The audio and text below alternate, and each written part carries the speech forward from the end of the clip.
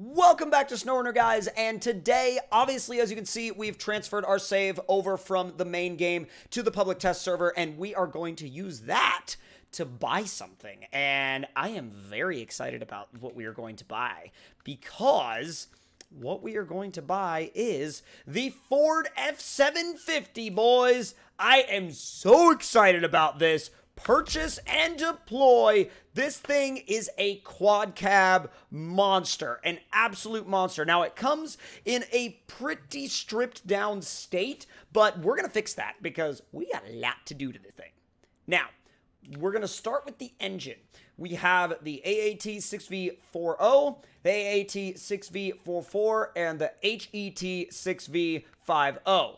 So obviously, none of those really improve the power to weight all that much, but this one does improve the durability, so I'm going to go with that. Now, the gearbox is custom. The suspension, we can do a raised or a tuned custom, but both of those are only available in the Kola Peninsula, which is actually kind of cool because I'm actually like, it's kind of cool because I'm looking at it right now and I'm like, hmm, for one, Hmm, for one, I kind of wish I had access to these right now, but I'm not upset about it because it gives me something like to really look for. Now, let's see. You could go up to a 45, but obviously the the clearance for that isn't really there. So the most we can do right now is a 37, unfortunately. Now, you can do a chained 37, but we're going to do a off-road 37. And, I mean, I'm not too upset about it, but I would like to... Oh, let's see. Advanced, autonomous... Wait. Mm, we'll do the autonomous. Yeah, just in case. Now we can do a pickup bed, a custom pickup bed, which... Wait a second. Why is there a giant space between... Oh. Oh. Oh, that's that is weird. Okay, utility mount. And the pickup bed would go behind the utility mount, I'm guessing, because it does line up with the fender. That is so weird.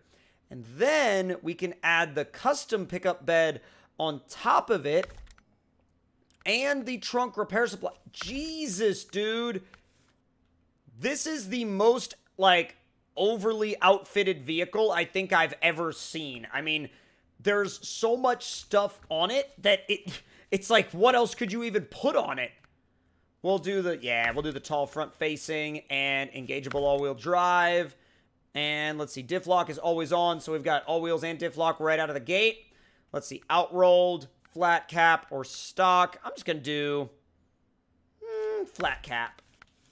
And ooh, Let's see. I'll do the visor just for kind of like that old school look. Whoa, we do like a flasher bar, like a fire truck. That is that is really cool. That's pretty sick. Okay, so let's see. Lattice bumper, hunter bumper, trapezium bumper, or stock. I'm gonna actually I think go stock for now, but that is really really cool. The hunter bumper, like with the ties, like from the bumper to the um to the A pillar, that looks really cool. As a matter of fact, I'm gonna do that too and F750 wheels are the only things we can do.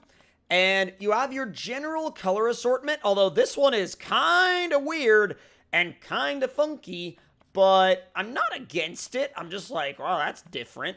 Uh, let's see. I do like this, this like kind of classic brown, but I also like the red. That looks really, really good. All right, let's go ahead and apply all of that. And now, and now, we take it for a drive. And I'm not quite sure what to think about this, but, uh, it's outfitted. That's for dang sure. And it is, uh, it is big. It is, it is huge. What kind of trailers can we pull with it? Wow, just about, just about whatever kind of scout related trailers you wanted, and even things that are a little bit bigger than you would assume for scouts. It's pretty cool a lot going on here, really. You don't really get many transmission options, but that doesn't bother me all that much. Oh, look at this interior. Look at that shifter. Dude, look at like you can see the back seat and everything. This is so cool. So freaking cool. I want to put the big tires on it though. God, this is so freaking cool, but I need the big tires. God, I absolutely need the big tires. All right, We're going to go... Hmm. Hmm. I almost wonder if we could... Well, we're going to have to explore the lake before we can get the big tires, I guess. But let's throw it right into some mud and see what it can do. There's low plus. This is obviously, again, with the smallest tires we can put on it right now. Even with the smallest tires, she ain't doing too bad. I mean, it's long, and I think that's that's the biggest thing that's going to work against this truck is the fact that it is limo long. So there's really, like, uh, it's there's really, like, not much you can do to help that apart from lifting it, which, again, you have to find those lift kit parts in the Kola Peninsula, so until you find those, you're kind of out of luck there. Oh, no. We stooled it out. There you go. Go, go, go, go, go, go, go, go, go. Really? Like, bud, come on. If you could, like, not, if you could, like, not and say you did, that'd be great.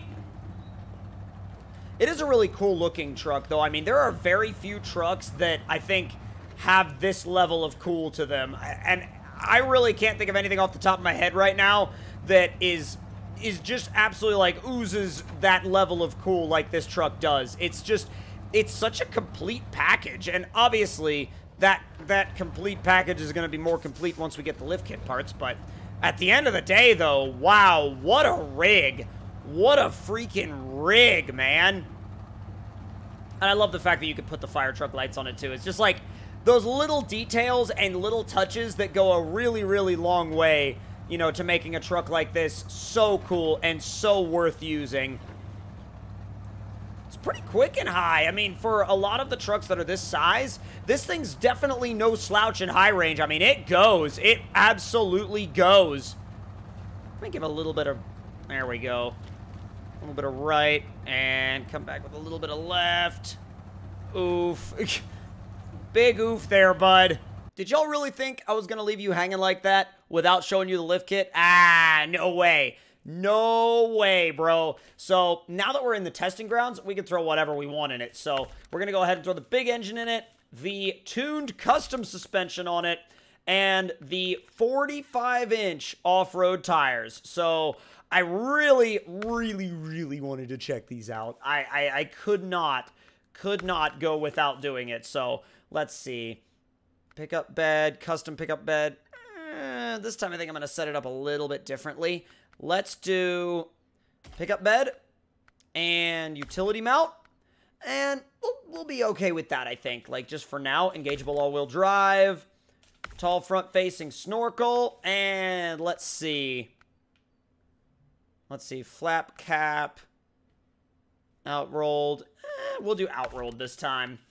And eh, what do we want to do? Straight, straight cap sun visor. Yeah, flasher bar. And I'm thinking, actually thinking stock bumper this time because the stock bumper does look really, really cool. And I think I'm going to paint it well, I kind of want to paint it red this time, just because we've got sort of that fire truck vibe going on. Or we can do a white one. I'm going to do a white one. All right, now. Now let's go. Oh my god. Now I just need an actual proper siren. Thing is so sick. All right, I want to see what it's like with the big engine and the 45s. I mean, it's got gigantic tires on it now. Look how big it is next to the little K1500. It's so freaking huge trying to drive it up on top of it, but I don't think it would like it. I don't think it would, I, I don't think it would like it, A, and B, I don't think it would let me. So, we're just not going to have it do that for now. Alright, bud, let's go. You're not that fast, are you? It's really not.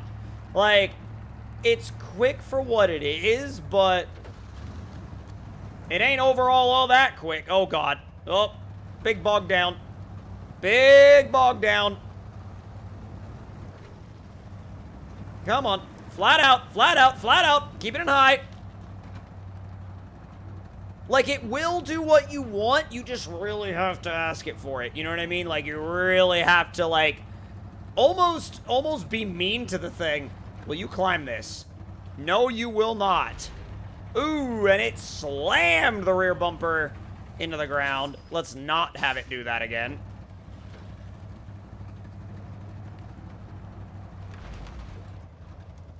Dude, it will not make that without stalling. It's just like, uh-uh. Nope. Big nope. It's like total big nope.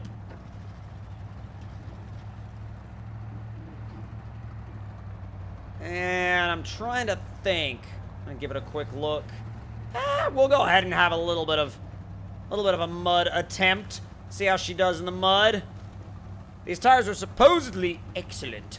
So, we'll see what they actually mean when they say excellent. They ain't bad. That's for sure. They ain't bad.